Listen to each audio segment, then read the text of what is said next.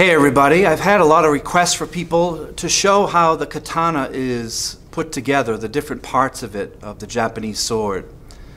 This is a handmade katana blade. I'm holding it with a piece of paper towel here. You can use paper towel to hold a blade, just be careful. You don't want to touch the blade if it's a nice quality blade because the oil from your hand will rust it. So be very careful not to touch the blade with your greasy, oily hands. If you do, make sure you wipe it and oil it with some choji oil right away.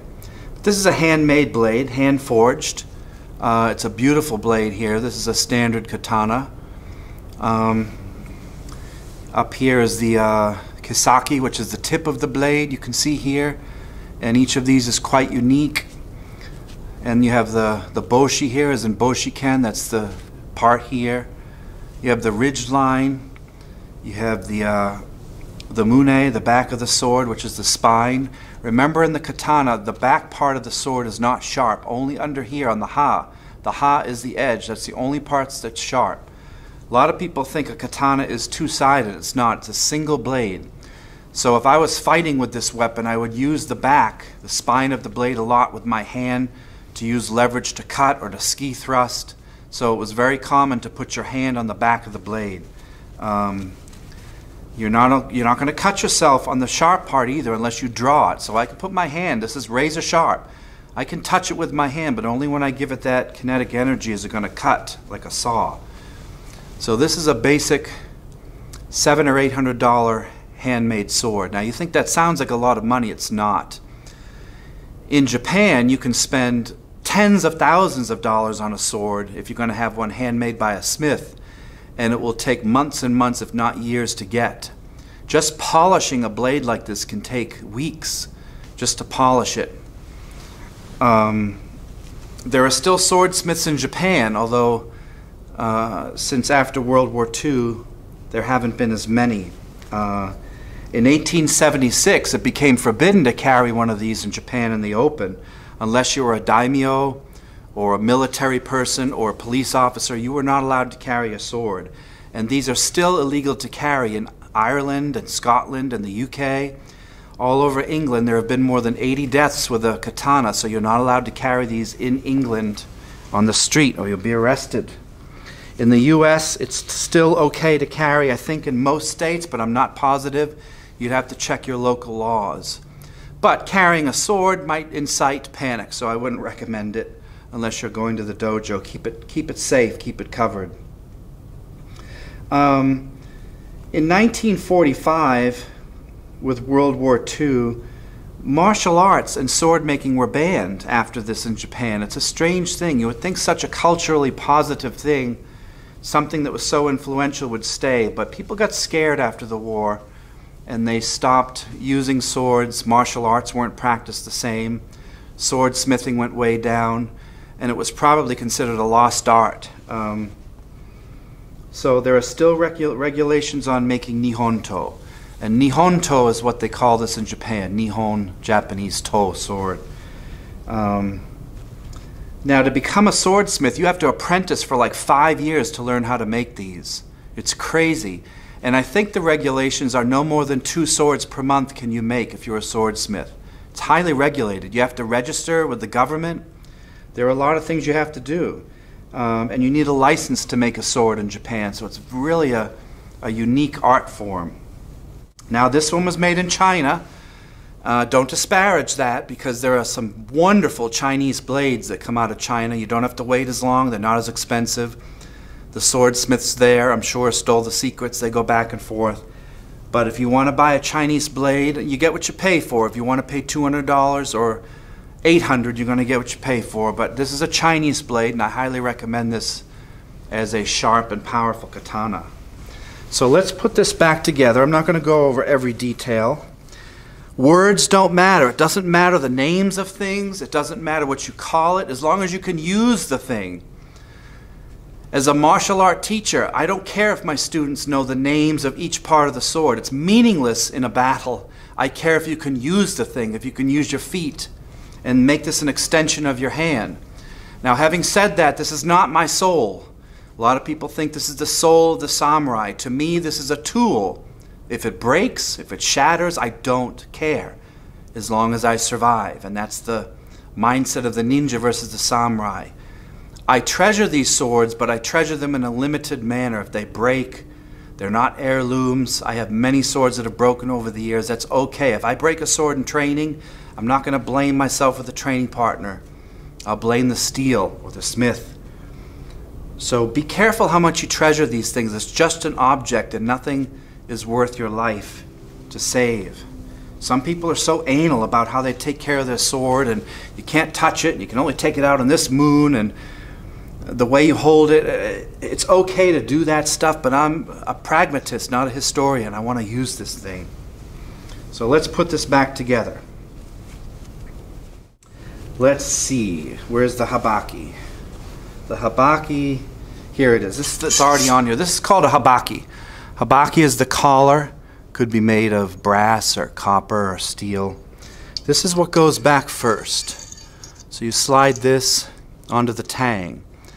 This is the tang of the sword. This is the part that wouldn't be polished or finished. It's hidden under the suka, under the handle. So this is called the nakago. Nakago the tang. Now the mei, mei would have been here. The mei is a signature. Signature is the smith of the blade. So some really old blades that are made by hand would have a signature here and the tang could be on this side as well. The mei is the signature of the smith. So if you have a really old sword and you want to get it appraised or something, take it to an expert. He or she can take it apart carefully and see if there's a signature and you can trace it back to the maker. This one does not have a signature on it, and that's okay by me. This has two of the holes here for the mekugi pins. So these are little wooden pins that go in through these holes. There's two of them in this case. These are what hold the handle onto the sword. The handle is called the suka. So this is the handle of a Japanese katana, anywhere from 11 inches to way up to 15, 16 inches. This is a standard size, and I'll get into more detail about that. But in order to hold this on, you have to have that collar on first. After that, you have this. This is called a seppa. Seppa is just a little ring. It's like a little collar, usually made of copper or iron. This goes on next. It's a little decorative thing here. Then you have the Suba guard.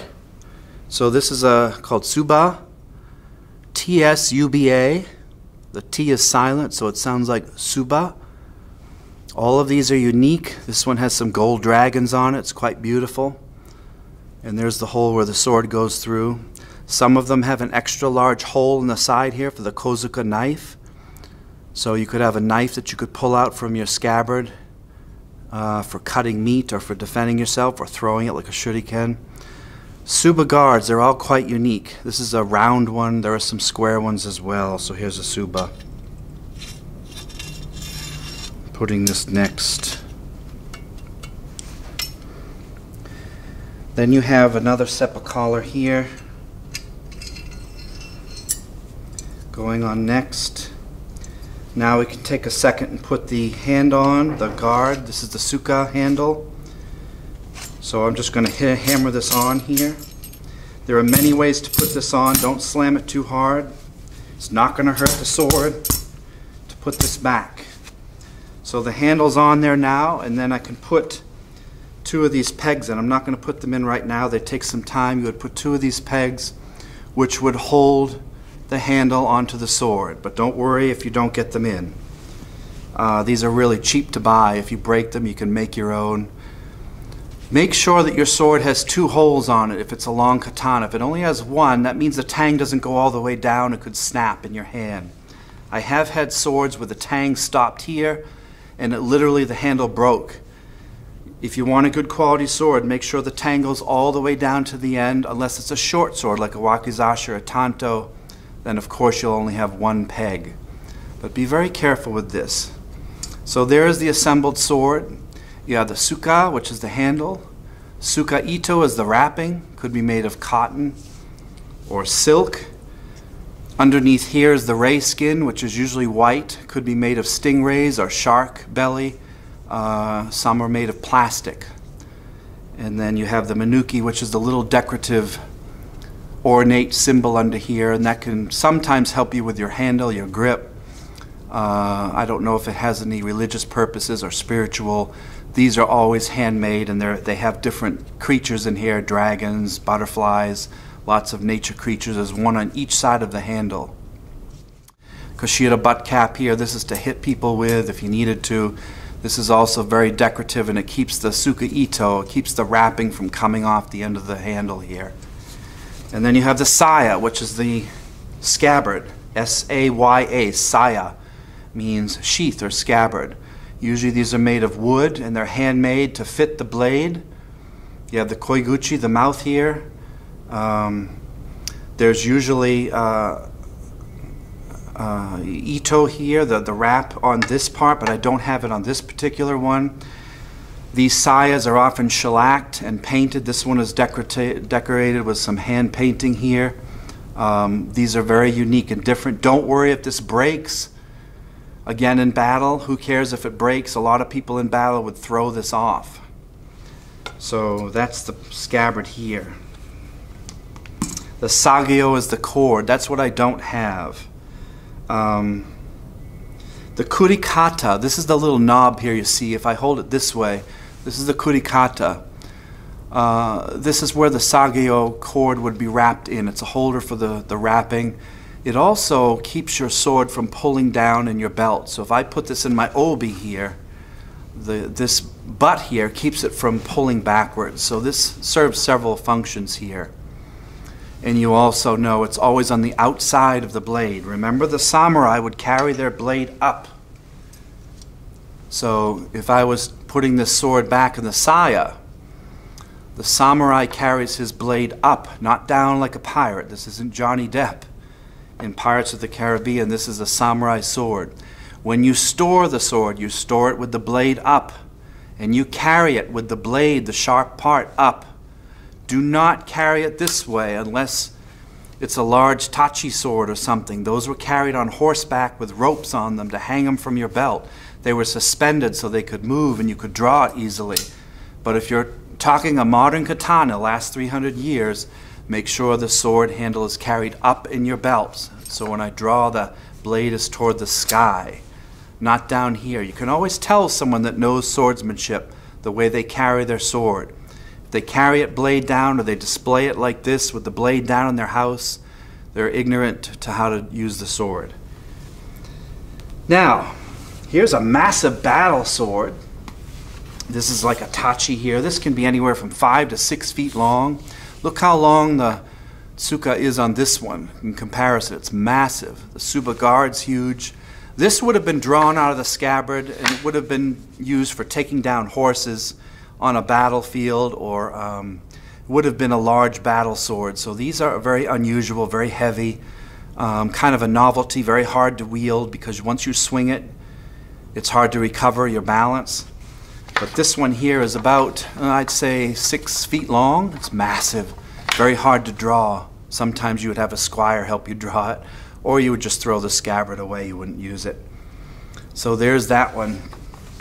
We'll go into that another day. Now, if you have a short tanto, which is a, a knife, the samurai carried the katana, they carried a wakizashi, um, a sidearm here, wakizashi, which is a short sword, also called a shoto.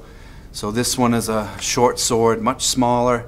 This is the one they would keep on when they went indoors. They would take the katana, leave it outside or in the foyer, and then they would take the wakizashi to wear indoors if they needed to protect themselves.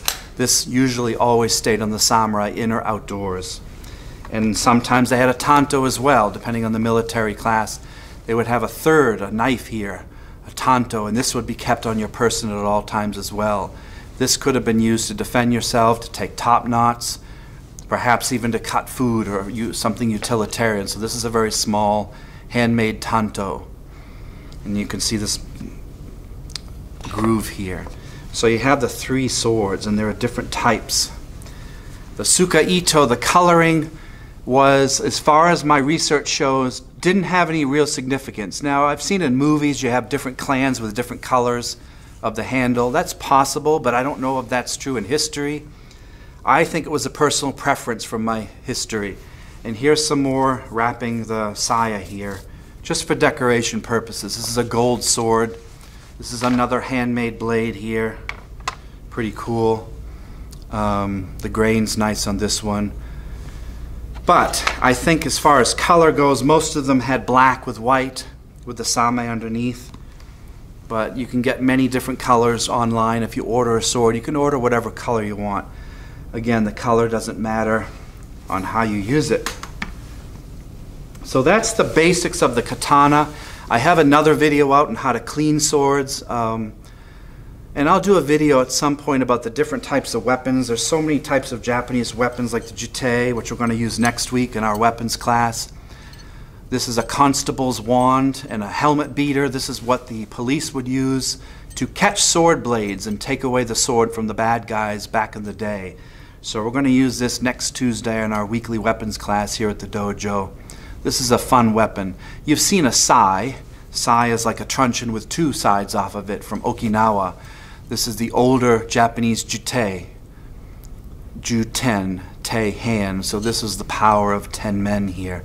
And it has this tassel as well. And this was a status symbol. You would wear this if you were a constable or a sheriff of some sort, and you would point and arrest a person. So we're going to use that next week. Last night we used the Kusari Fundo, or Fundo Kusari here. This is another weapon of the ninja or the samurai would use in castles when you couldn't draw a sword. They would keep this hiding or hidden and they would use this. They would deploy it quickly so that they could arrest a person. Um, and it was quiet so you didn't disturb the daimyo or the king or the queen.